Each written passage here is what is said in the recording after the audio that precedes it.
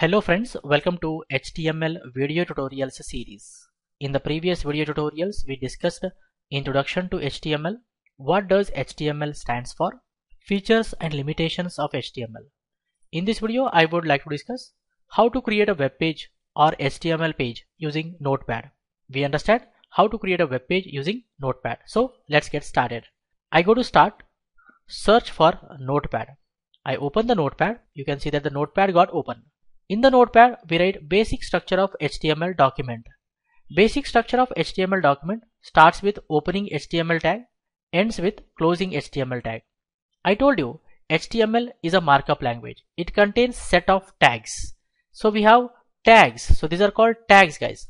We write opening HTML tag. How do we write opening HTML tag?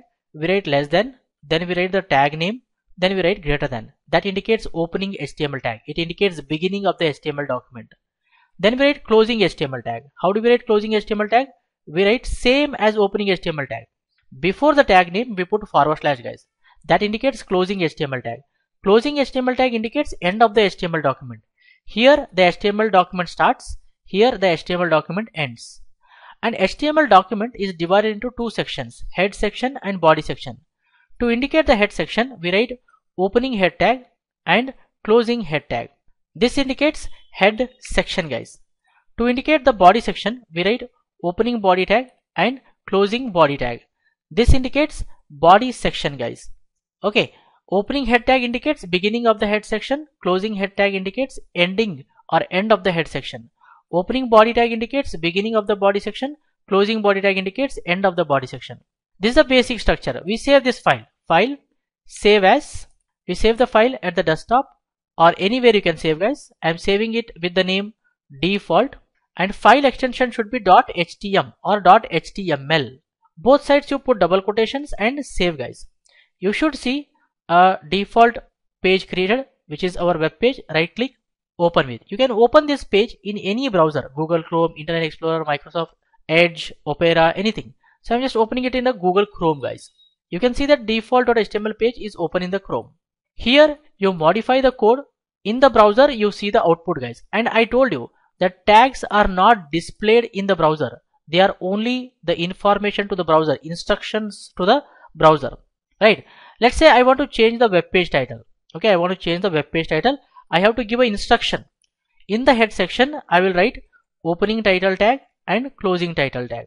Here inside whatever I write I am writing here home page. It is going to be set as the title of the page. I save this first you save go to browser and reload so that the code re-executes. So once it executes you can see that the page title changed to home page right? So tags are instructions to the browser.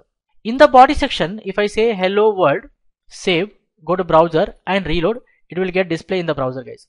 So that is how you can create a HTML page or a web page using notepad guys you can use any of the text editor which allows you to save the file with the file extension of .htm or .html.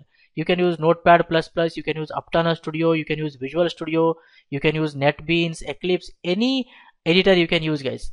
HTML language is same. Okay, it is same for all the editors. It will not change. The edit language is same. Okay, the only the way of creating the file and executing the code will be different in different editor. Understanding? But Notepad is available in all the operating systems so you need not to install it and all. You can easily use this uh, notepad and uh, write the code and understand html guys. So that's it guys for this video tutorial. I hope you guys have clearly understood how to create a web page or html page using notepad. I suggest you people to try it one or two times okay? Execute the code and see. In the upcoming video tutorials we discuss more about html for more benefits and be up to date do not forget to subscribe to our youtube channel keep learning keep designing keep sharing. Thank you guys. Thank you very much. See you in the next tutorial